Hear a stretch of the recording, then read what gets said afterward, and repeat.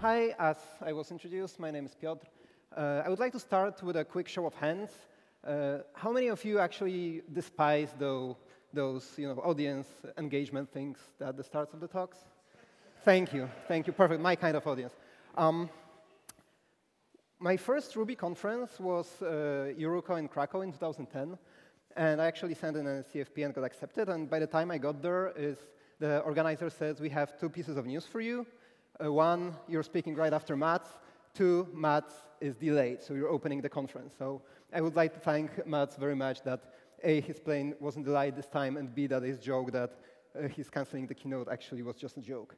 Uh, I work at a university. I'm also a CSO at a Warsaw-based Ruby and Rails consultancy. If you have any projects that you would like uh, you to us to, to help you with them, just uh, let me know. I also coach at Rails Girls. Uh, this is uh, one of the Rails Girls students at Rails Girls Warsaw. And uh, I really fancied her. I, I, met her for the first time in 2006. Uh, I kind of fell in love with her. Uh, it took about a year and a half of being quite impertinent with that before she even considered meeting with me. And then uh, we got engaged, we got married, we went for a honeymoon. And if you're a Ruby programmer on a honeymoon, it's the time when actually everybody expects you to have fun. So I actually wrote a German library for managing email signatures. Um, that's what you do on a honeymoon when, when you have such a wonderful uh, wife. And uh, if you've ever got an email from me, first, I'm sorry. Second, if it was ever dull, there should be a funny signature at the end, because that's how I try to make my emails worthwhile. So the way it works is you, you can run it, ask signore prego, and it will show you a random, supposedly funny signature. You can ask it for a signature about Lisp. You will get a signature about Lisp. You can ask it for a signature about Perl. Why not? Uh, you can ask it for a signature about, obviously, Ruby. You can even ask about signatures on multiple topics. You can get things on the multiple topics. If you're not into Python, but you're into other languages, you can ask about something about Lisp and Ruby, but not Python. So you get something like this. Uh, so to implement something similar to this. The, uh, the, the, reason why I'm bringing this up in the first place is that you don't really need any gems. This, uh, this library works only using a single gem that was actually extracted from uh, out of it. So all of its dependencies are standard libraries, and uh, that other gem that actually uh, has only standard library dependencies. Uh, if we wanted to hack something like this really quickly, we would just get a struct with uh, an author, some tags, and some text. Uh, we could use a simple signature store. Let's go with an array. Why not? And we can create a signature. We pass the author, the tags, and the contents of the signature. And we can actually, because Ruby is so flexible, we can say, I don't like that syntax, I much prefer the other syntax, and do something like this. If you have any junior programmers in your teams, show them this, see their reaction. Uh, if we want to get a random signature from our wonderful signature store that happens to be an array, we can create a method like this that just selects all of the signatures tagged with a given tag, and then pulls a sample random one. This method will return nil if there are no signatures tagged with a given tag. You don't really want to do this to the users of your library ever. Please, if you can, do not return nils when you can also return something meaningful. So the, the nice thing about the structs is that you can actually create a, something like this, and this will work as a uh, null object. And uh, returning nils kind of feels like something that we do often, but when somebody uses your library and does not expect nils, and, and they get nils, it's like you know the first time you ever encountered a gyroscopic precession, you know, that thing when the gyroscope turns around and, and then you tilt it and it goes in a very different way than, than you would suppose. So we have this. We can then get a random signature from our store. If we have a toS method, we can call puts. We can pass this as a puts and get result. I'm covering this because this will be the API that we'll be using throughout this talk. So the premises of the talk. Uh, the examples are somewhat contrived, but please look past them. There are basically some, the smallest examples I could think of to, to give you a, a taste of a lot of standard library libraries. Uh, there are pieces of Ruby code sprinkled throughout, and obviously, as you uh, surely know by now, I'm just glowing a reflected light of other people uh, speaking funny things. So uh, the array is not really such a great store for our signatures unless we're running on maglev. So uh, you could think that how we can persist those signatures. Like obviously we need at least three tables, one for the signatures, one for the tags, one for the join table. But that's actually not true. We can, we can use standard Ruby li library that is called pstore that actually has also a YAML backend. We can require YAML store, we can create a store, and we can call a transaction method on it.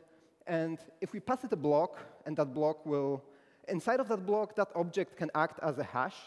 So we can say, uh, create a key if it's not there, that will point to an empty array, and push a couple more signatures into that uh, key, basically. So uh, the nice thing is that pstore is actually good enough to make this atomic, so it actually will log the file once for writing, dump all of those signatures, release the log. It won't let another process step on its toes when it does that. So it's basically a simple signature uh, store that, that, that works like a document store and actually is quite reliable. We can create another example of our API method for getting a random signature. This time we can call the transaction method with a true flag, and this will make a read-only transaction. So this will open the file only for reading, which means a lot of concurrent processes actually can open the same file and, and read the signatures. And again, we just select uh, all of the signatures tagged with a given tag and, and get a sample of them.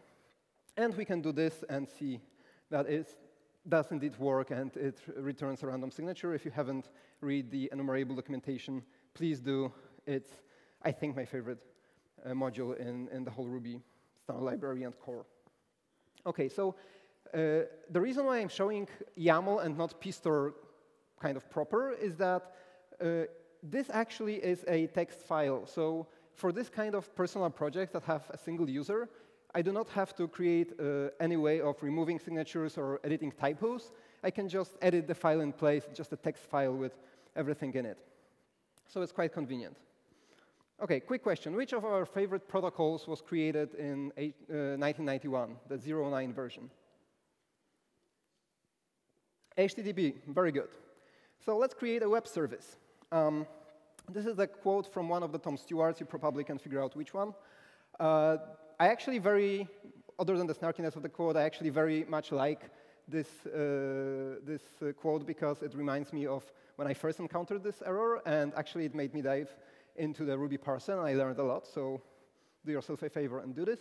Uh, the way it works here, it's a here document, and here documents are started with a delimiting identifier after, in Ruby, two less than less than signs, and then they create a string up until the closing delimiting identifier. You probably should never use lowercase n, because your team will hate you, but it looks very nice, so this is what I use in my personal projects. Usually this is like EOF or capital N. And the nice thing is that if you do this, you can, like here, you can actually make it look pretty. And if you're really uh, not happy about the indentation, you can actually call methods on the opening delimiting identifier, and they will get applied to the string in here. So this will actually remove all of the indentation from that string. We can do this again. There is a lot of, uh, I think, misconceptions by now about Ruby documentation. It's not really top-notch, but it gets better every time, and it's definitely much better than it was a year ago. And if you want to have a commit in, in Ruby, uh, you can just work on Ruby's documentation. There's still a lot of uh, work to be done, but this is something that is more tongue-in-cheek by now. And the EHH account, obviously, is worth following. Um, so let's create a simple web server. All we need to do is require WEBrick, instantiate it with the port that we want to hook into, start the server, and call a mountproc method that gets past a block that has two parameters, request and response. And we can pull uh, stuff out of the query parameters by calling request query and then accessing it like a hash. And then we can set headers by accessing the response like a hash, and we can set the body by just setting the body. This is eight lines to get a working web server. Probably using Sinatra is much better in this case, but if you're on a plane or if you're on a train, it's actually, and you, and you don't have any connectivity and you're using some obscure Ruby implementation that you don't have all the gems installed for, this is something that you can hack quickly and use. And we actually do have Ruby uh, like signature web service. We can curl localhost 1991. We can get a signature. We can curl it again. If we're lucky, we'll get another one. So this actually works. Cool. One of our other favorite protocols is much older, but was first introduced in 1969. Even lower level than HTTP. TCP, very good. Let's create a web service, uh, not web service, a TCP service that would serve signatures, because we can. I work at the uh, Department of Telecommunications uh, Fundamentals at my university, so this is basically what we do all day long. Um, so let's create a uh, signature, uh, if you have never read the documentation for kernel test, please do. I think it tries to mimic quite strictly the way the shell test methods work, and it's, it's, it's downright interesting to, to actually dive into this documentation. Um, big decimal inspect is also another thing that always mesmerizes me when I see how it looks like. Um, so let's push, push this to, into our store.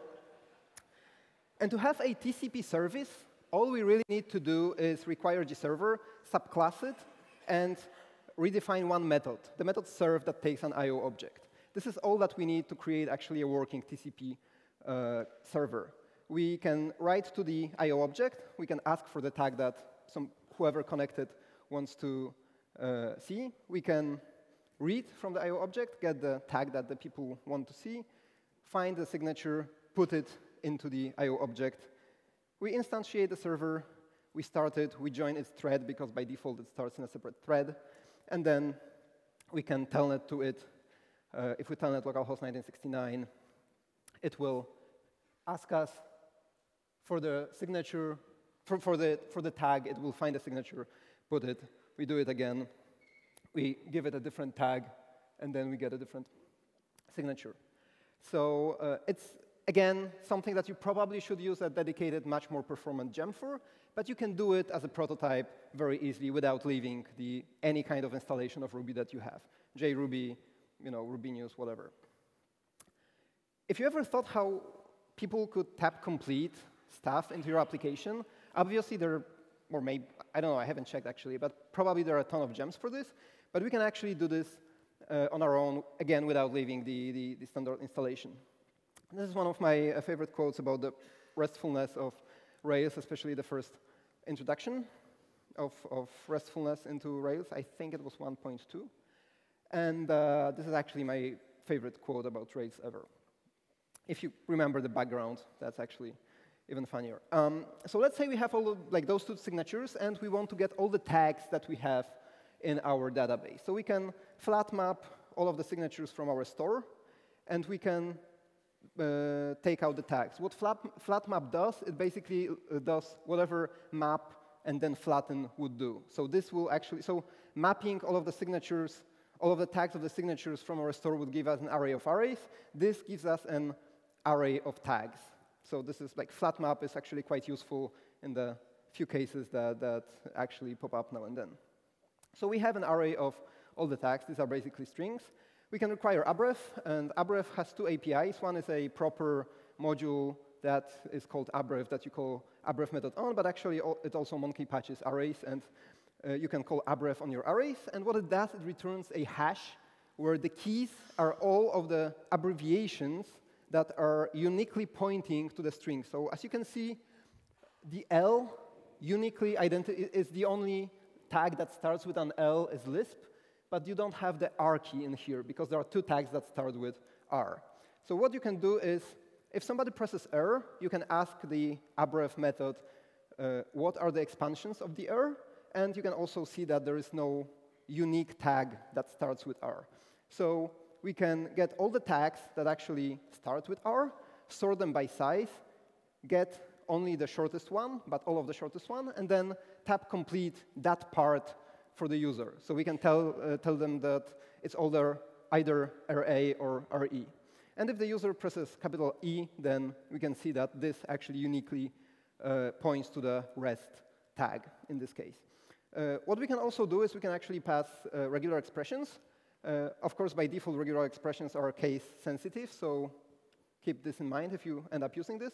Uh, this means that this is very simple to create things like the Control P plugins, where in an editor you press Control P and you put random letters from the file that should uh, be in the file name in order, but at whatever, however, uh, apart from each other. So you can use this way of finding the, the files that would match whatever your, uh, the user tries to put in. OK, another thing. Uh, when you collect signatures for a long time, because you're kind of old and you don't know anything else to do with your time, uh, eventually you will see that sometimes you misspell an author or somebody misspells their own name now and then. So, uh, for example, uh, one of the funniest uh, accounts on Twitter is the Pinboard account. This is a service for collecting links, and it's run by Maciej Cegłowski. And he sometimes, I love, by the way, if you, if you ever want to check uh, the primality of, of a number, this is a very good strategy. Um, uh, sometimes he spells his name with an L, sometimes he spells his name with an ow, L. So uh, I ended up having some signatures from him with either spelling. Do you know of a way of comparing a couple of strings and basically quantifying how similar two strings are to each other? An idea? Levenshtein distance, yes. I'm sorry if I'm mispronouncing this. So Levenshtein distance. If you have two strings, the Levenshtein distance basically says how different they are. It actually says how many edits you have to apply to one of the strings to get the other. Uh, there isn't anything in the Snell li library. There is an awesome Levenshtein gem that I hope to, to say uh, a couple of things later about, but there's nothing in the Snell li library, so if we're on a train, we have to uh, if that's how you pronounce those things. This is a simple Levenshtein implementation. Please don't dive into it, but please look at this module function keyword there. Module function is something that uh, a lot of modules should use and and don't, but they should. What module function does is makes two things.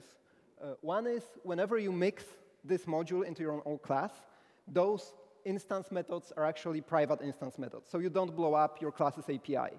And as you will hear later from Emily's talk, uh, you really want to create backward API compatibility on like different levels. And uh, whenever you mix in a module and you know, two years later, it turns out some users are depending on the way this module is implemented, that's actually also uh, often uh, a problem. So module function means those methods are uh, mixed in as private methods. And the other things, uh, thing is that this method is actually callable on the Levenshtein module itself. So it's not def self distance, but you can actually call it on the Levenshtein module because of the module function keyword. So what we can do is we can get all the authors, all the unique authors without the uh, nil author that will happen for the signatures that have no author. And then we can create all of the two-element combinations. This is another uh, core method that actually takes a, uh, an array and returns an enumerator of two-element arrays with all of the combinations of the authors. And we can find the minimal, the, the pair that has the minimal uh, number that is the Levenshtein distance between those two elements. And if we run this, we will see that, again, in this case, in our signature stores, these are the most similar strings, so these are probably the, the, the most uh, probable candidate for a misspelling. What we know from, a, uh, from the wonderful Gary Bernhardt is that we can actually use Levenshtein distance in method missing. If you ever made a misspelling in the method that you call, you can just put it in method missing, and Ruby will happily call the method that you probably wanted to call but just misspelled. Um, do it, it's fun, your team will love you. Uh, the thing with this approach is that there are so many pairs. When you have a lot of authors, there are so many possible pairs. Actually, the number of pairs is the binomial coefficient. It's uh, how many k combinations from a set of n elements you can make. It's known that it is this many combinations. And if the k is 2 because we want to uh, get all the pairs of authors that we have, uh, this can be shortened to n times n minus 1 times 2. The thing is, when you have, for example, let's say a random number of 2,378 authors, this number is actually 2.8 million pairs of authors that you have to check. If you want to write this number in Ruby, you can actually use underscores. This will parse just like a regular number, and it's much more readable. Although, if you actually do have this kind of numbers hard-coded into your Ruby, this might not be the biggest problem. The readability might not be the actually problem your code base has. Um, OK, so what we can do, we can distribute it. Uh, Google has this wonderful four three two zero slash twenty four subnet, and it's not using it. There is a plea that they should delegate 4321 to NASA for, for local launch live streams. Now that you know the uh, the, the uh, how they are called, the Buran version, the, the, American version of Buran, which is uh, orbit, this thing that you know you, was used to to transfer uh, uh, astronauts to the space station. So anyway, they're, they're still uh, launching rockets, so that would be nice. So let's assume we have this subnet, for example, because of uh, just sheer luck, we are running two, uh, two laboratories at our work that are not used by students at the given time, so we really need to put those computers to work. Uh, this subnet has 20, 254 server addresses because the first address is the address of the network, the last address is the uh, address of the, the broadcast address, broadcast address. So uh, how can we run services on 254 computers that are not doing anything more important at the moment? We can actually use DRB, which is another standard Ruby library that is uh, useful for distributing stuff. All we need to do is we need to have some kind of object that has some kind of method. So let's say we have a typo finder module that has most similar per among pairs method that actually you give it an array of two element arrays, and it will find among those the most similar uh, pair. So all we need to do is we need to require DRB DRB. We can start the service, we pass the DRB URI, which basically is IP, uh, the IP of our computer, which is always localhost, and the port we want to run it on. And then we pass in an object. And the way DRB works is it exposes that object on that port to outside world. So we can call method on that object from another computer. So you run this, uh, you, you, you uh, join this thread so, so your script won't exit, and then you run it on all of the computers at your university laboratory. And the way you use it, you can create a new with URI. Uh, you call new with URI on the DRB object, and you get an object that represents the object that is exposed by the other end.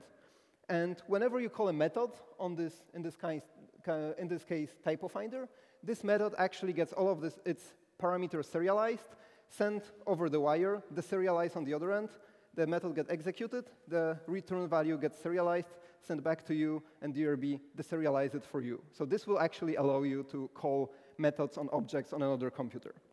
The thing is we have to somehow know the IP that we want to send to. So for this, there's a wonderful IPAddr standard library. We can pass the, to the constructor, we can pass uh, an IP, and if we pass uh, a network part, you can see that this is not the address of the network because it doesn't, it's not 4320, it's 4321. But IPAddr will figure out that this is because it's slash 24, so it will see that it's actually the network 4320. And you can uh, turn it into a range. The first address is the address of the network, the last the broadcast address. So if we drop those addresses, we have all the IPs of our computers in this network. So all we have to do now is see how many pairs of addresses we can see we can send to each of those computers. In this case, it's slightly over 11,000. So let's get all of the authors. Let's get all of the combinations to author combinations. Let's slice this into batches of 11,000 pairs. And uh, the nice thing about Ruby as of recent is that both combination and each slice returns enumerators, so it doesn't actually uh, create those arrays in memory until you try to pull anything from, from that, that slice. So all we have to do is we, uh, we can zip the IPs, which is an array of IPs, with the array of slices. This will create a array of arrays that have IP as the first element, pairs as the second, and we can send this to our servers. The thing is, if we run this, that would actually do it sequentially. It would send the first 11,000 pairs to the first server, wait for the answer, send another 11,000, and so on. What we can do is use the standard library thread. We can run this. This will create 254 threads Whether this is a good idea is your homework. And uh, if we do this, actually the thread new will return a thread, so we can uh, then flat map this array for values, which the value will wait for the thread to finish and see what that thread returns. So this will actually run the threads concurrently, and then it will block on subsequent threads that didn't return yet, but it will allow all of the other threads to work at the same time. So we have now 254 pairs, so we can send them to our local version of this. And uh, in the case of, of uh, my collection, there's a novelty I am developer account on Twitter that is uh, misspelled, but I was too stupid to notice it, so I had those. I, I removed this misspelling when I was putting the signature into, into uh, my collection. Th this actually works. So a very quick quiz now that we're somewhat closing. What is this? Seven, number. Very good. What is this? 37. Also a number. Even better. This. Is there anything that those three numbers have in common? Prime numbers. Very good. This is also a prime number. As is this, and this, and this, and this, and this. And this number has this wonderful property that no matter how many digits you drop from the beginning of it, it will still be a prime number. Uh, checking the primality of numbers, as you probably know, is not something that can be done very efficiently. This is why they are used in, in cryptographics. And, but we can actually do this. We can actually reopen the integer class, and we can say that if we want to check whether we, the integer in, in question, whether we are prime, we can just go from 2 to self and check whether we are divisible by any of those numbers. We actually can go only to, uh, it's enough for us to check only up to a square root of ourselves, and actually it's enough to go to the rounded down square root. And what we can do in Ruby is we can actually call the all method that will get all the subsequent integers into the block, and then we check whether self, which is our number, is divisible without remainder by this. And if all of those numbers from 2 up to the square root are not divisible, which means all of the remainders are non-zero, then it means this is a, we are a prime number. The nice thing about this is that uh, this method is short-circuited. So if we are a number that is divisible by, for example, 5, a very large number divisible by 5, this method will return as soon as it goes to 5. It won't check all of the way to the uh, square root of self. So we can check whether 7 is a prime and 37 and so on. And it works actually quite well until quite large numbers. You, you can actually wait and, and see that it works, but it doesn't obviously work for this kind of number because the checking would really take a lot of time. But you might think that checking the visibility by 4, 6, 8, 10, and 12, and so on is kind of a stupid idea because it's like we're either divisible by 2 or we're not. So we can implement a clever prime predicate which will have not one line, by, but three lines. It will return false if we were even. It will return true if we were the number 2, which is actually the only even prime. And other than that, we will go from 3 to the square root of ourselves, but every second number. So this will check only divisibility by 3, 5, 7, uh, 9, 11, 13, and so, uh, and so forth and so on. And we can check a couple more numbers and actually get an answer. Again, we won't get an answer for this one. So this trivia is actually not something that is very common, that we have such a large number that is prime. It's not something that you can, it's not a number that you can easily find. So you might ask what this is doing in the talk on Sun library, and or you can say that big doofus, there is actually a prime a predicate in the Sun library. All you need to do is require prime. The thing is, when you run it, it takes surprisingly long, and if you think that something takes surprisingly long, you should never trust yourself. You, you, should always benchmark the stuff. For this, obviously, as we all probably know, there's a benchmarks on the library. And we can check that our simple prime, this test takes about six seconds. This test is about twice as fast, which is very nice because it actually confirms our suspicion that we're skipping every second uh, check, and it's actually twice as fast. The thing is, this check actually takes three times as long. So this, these numbers are from, I think, two weeks ago from the current 2.1.2 Ruby. And Let's see whether this actually changes if we run a rehearsal before computing this. So we can use the BMBM method on the benchmark module. We get a bench object that we can uh, pass labels to. And it first runs a rehearsal, which means it tries to warm up uh, anything that is needed, like garbage collector, or in case of JRuby, the uh, JVM. And then it runs the actual benchmark, the actual benchmark again, so we can compare the numbers. And surprisingly, the standard library implementation of prime predicate is three times slower than our three-line implementation. So your task is try to figure out why. And uh, when you do, you can find me and, and we can compare notes. So what did we learn today? We can use a few more bits of Ruby core on an everyday basis. Things like combination or flat map. These are things that are somewhat, sometimes very useful. Uh, we can persist things with pstore, which is surprisingly efficient, uh, even for quite large stuff. There was a, I think, web survey uh, application that used pstore for much longer than it thought it would use it. Uh, we can serve with WEBrick, which you probably shouldn't do, but it's good for, for like one-off tests and gserver on the TCP level. We can tag complete with abbrev. We can distribute with DRB and IPAddr. Check out Rinda. This is a wonderful standard library for making this all even nicer. Uh, we can slowly check primality with the prime standard library, and we can benchmark with benchmark. So the takeout for you from this talk that I would like to see is first, do play with, around with enumerable. Do check the library, the, the documentation for this module. There are a lot of things like, again, the partition method, for example, that is very useful when you need it. And you probably re-implemented the partition method quite a few times before you learned about it. Uh, library. I didn't cover weakref, but weakref, when you run, read the docs about weakref, you will see why this is my favorite, actually, library in, in, in Ruby contribute to the documentation. Uh, the documentation team is super friendly, and you will get your co contributions merged in, in no time usually. Check out the Levenshtein gem. It implements Levenshtein distance on any two objects that actually implement each.